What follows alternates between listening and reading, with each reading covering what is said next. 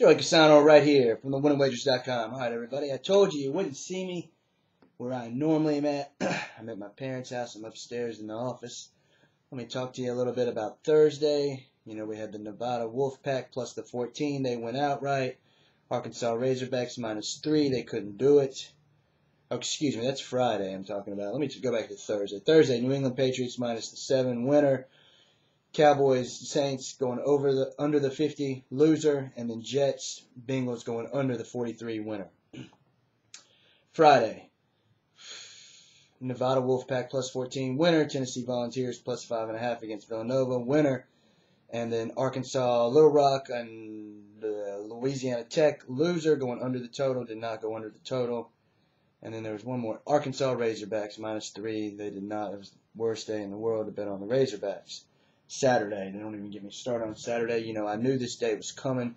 As hot as I've been in the past 10 to 12 days, I knew a bad day was coming.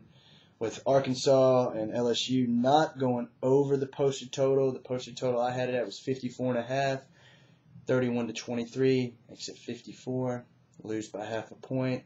I knew those two first field goals that were missed in the first quarter would come back to haunt me. Mississippi, Mississippi State did not go over the posted total. That score, ironically, was also 31 to 24. Loser. Then I had Central Florida minus 25. They blow up. They blow the cover with a last-minute touchdown against Memphis Tigers, giving us an 0-3 day. You know, I'm not going to lie to you. When I say I do good, I do good, and when I do bad, I tell you that I did bad. It's a new day. We got to play on Pittsburgh Steelers minus six and a half against the Buffalo Bills. You know, the Buffalo Bills probably have the worst ranked run defense in the NFL. This is when Pittsburgh steps it up. I think they easily go into Buffalo and get the win here. I've got another play on Atlanta, Green Bay, and then I've also got a play on New York Giants, Jacksonville Jaguars. Come on over to the website. Depends on how my days do. Excuse me. Come on over to the website, sign up for the free pick. It depends on how the rest of my games go. I'm looking at tonight's game between Philip Rivers and Peyton Manning. Colts minus two and a half, over and under sitting at 49 and a half at my place. I don't know about you, but that's probably it's right around there.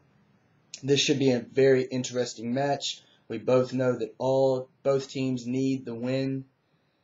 You know, so we'll see. Uh, no defense in this game, really. Uh, come on over to the website, give with me. I give you all week fifty dollars. I give you all month for 125, one day for 20, all weekend for 30. I know the weekend's over, so that one wouldn't be very relevant to what we're doing right now. So, anyways, your free pick for today. Take Pittsburgh minus six and a half against the Buffalo Bills. My name's Joey Cassano. I'm from thewinningwagers.com, and I'll see you next time.